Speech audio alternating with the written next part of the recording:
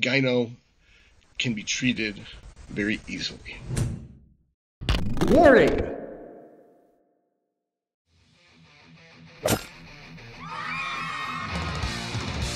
You're watching Dr. Todd Lee TV, where theoretically you could learn a bunch of cool shit.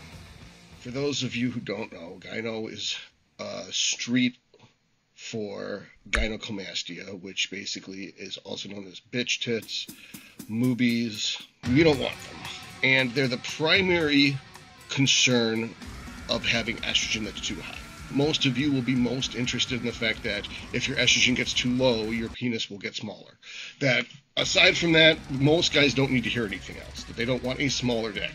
Not everyone wants a bigger dick, but nobody wants a smaller dick. So, therefore, don't let your estrogen get too low. So, a normal ratio I usually go by is 20 to 1. So, if you have a 1000 testosterone, this is on blood work, not what you're injecting. If your blood work test total testosterone is 1,000, then you're okay with a 50 estrogen. When that ratio starts to go to shit, you might start to see moobies, gyno, bitch tits appear. Now, what you might experience is tenderness on the nipples you lean up against an incline bench to do reverse flies or against to do reverse pec deck, and you can feel pain when your nipple touches the bench. This is bad because this pain usually it um, is associated with the gland swelling. That's from there being too much of input. Now, a lot of people are confused about this. I was. There's more than one input into breast gland growth estrogen is an input, GH is an input, IGF 1 is an input.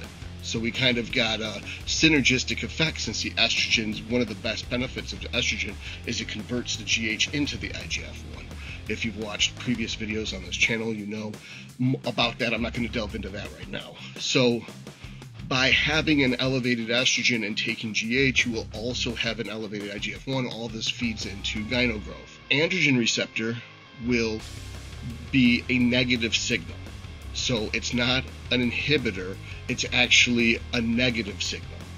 That tamoxifen is a breast cancer medication and it is going to bind to the estrogen receptor and not be a competitive antagonist.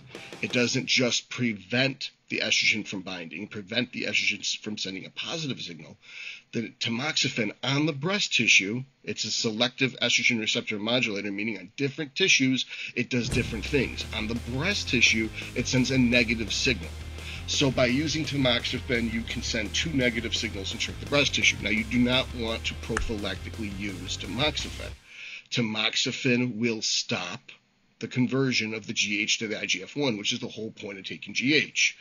And the whole point of taking testosterone is the estrogen because you want to convert the GH to the IGF-1. If we weren't going to fuck around with GH and IGF-1, we'd probably be better off running something like straight DHT or straight nandrolone. Please watch the nandrolone only video for more explanation. But the point of testosterone is it converts to the estrogen, and the point of the estrogen, if for the purposes of anabolics and growing, is converting the GH to IGF 1. That being said, we do not use tamoxifen willy nilly. In fact, it is a weapon of last resort. If you're experiencing gyno, the wise choice would be to look back at your records. What dose was I on where I didn't have gyno? And so let's say if you didn't get blood work done. So, like for instance, me, I know that at 80 estrogen, I wasn't experiencing gyno. At 120, I was. It would imply somewhere between 81 and 119 is a safe dose for me of estrogen. So I have to extrapolate how much test did it take to get to that. Now, what the irony was is that when I was stage ready using 400 milligrams of testosterone, I was cranking out 80 estradiol, and I had no gyno. When I was post off season in a um, recovery phase or whatever, a maintenance phase, and my body fat percentage wasn't seven, it was more like 19, I had a 120 estrogen from the exact same amount of testosterone. So by having more fat cells, I had more aromatase enzyme and converted more testosterone to estrogen. So that means I have to have two different um, protocols for myself. Is what do I do off season when I come off of a push versus what do I do post show when I want to go into a health and recovery phase. And I can what I can get away with in one, I can't get away with in the other. So that being said, you know, let's say you have a safe dose of testosterone and you were pushing the limit, seeing what you could get away with. And turns out what you pushed up to, you couldn't get away with. So let's just say Sam Schlittenkammer. We're making someone up. If your name's Sam Schlittenkammer, I'm sorry that this person that I made up is fictional. Any similarities it has to real people is unintentional. So Sam Schlittenkammer is using 350 test for a year let's say he's a very patient man, and his blood work shows that he's got an estradiol of 70 and he's got a testosterone of 1400, so he's exactly 20 to 1 ratio.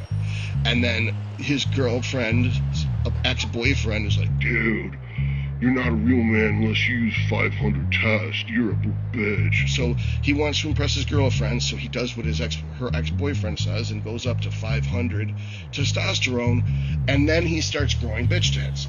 After about a month, his girlfriend's like, "Your chest is starting to look like my ex-boyfriend's. It's kind of gross." And then he feels, and he's like, "Oh my god, I've got tender nipples. What do I do? And then he's going to rewatch this video rather than do it from memory because what I've learned is that nobody has any memory. So in this case, what you would do is A, roll back to what your safe doses was. So Sam will reduce his dose down to 350 again. And then he will do a short stint of 20 milligrams of tamoxifen twice a day. A lot of people are like, how long do you do that for? You do it until the gyno is gone that this to me is so common sense. I'm appalled I have to actually answer that.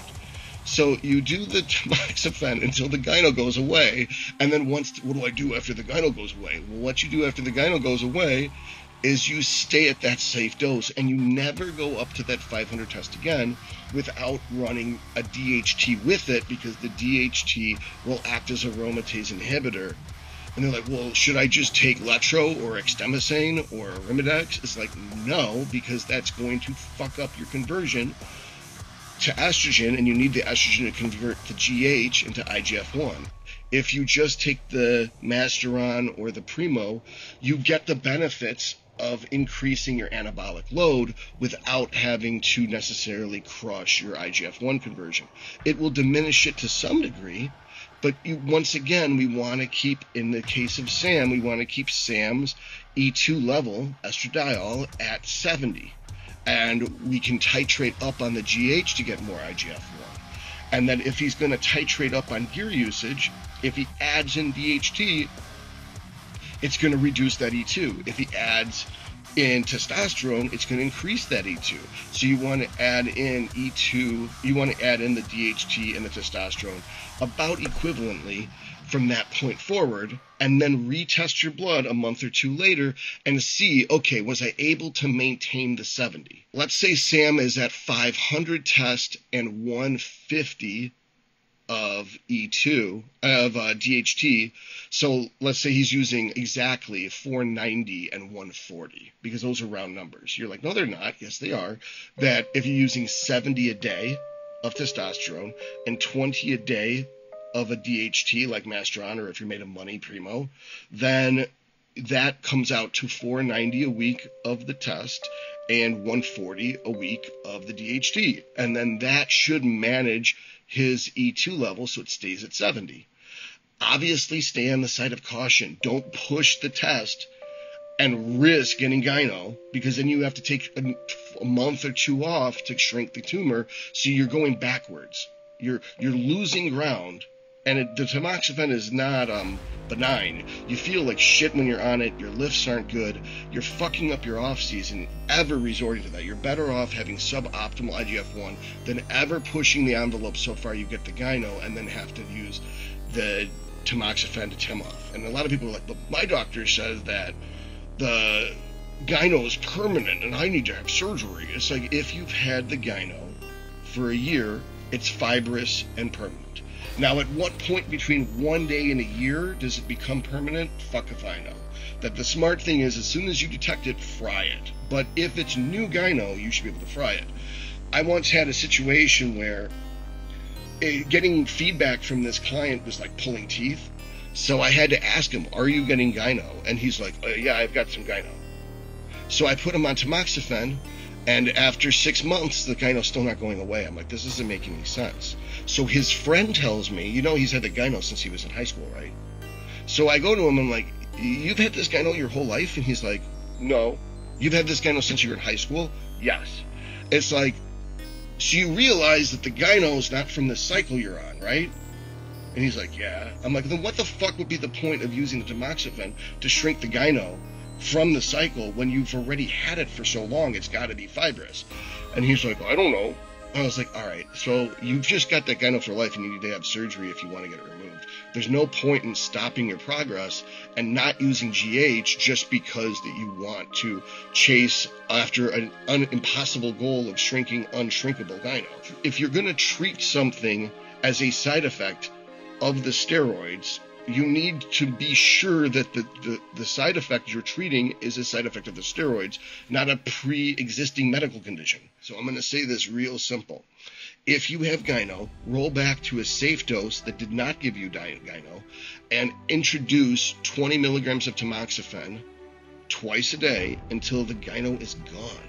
You can just then introduce some DHT and then start to escalate your dose back up to where the total load was supposed to be because you know the anabolic effect of the androgen of the anabolics is the total load the specific molecule whether it's testosterone primo masteron in theory doesn't really make a difference so I think that covers everything. If you've got questions, put them in the comment section. It's kind of easier for me to answer questions in the comment section than it is for me to predict every single possible question someone has and answer them. So if you see a question that you think is dumb in the comments, you can just keep scrolling. You don't have to look at the response. If you want your blood work done, get a hold of me.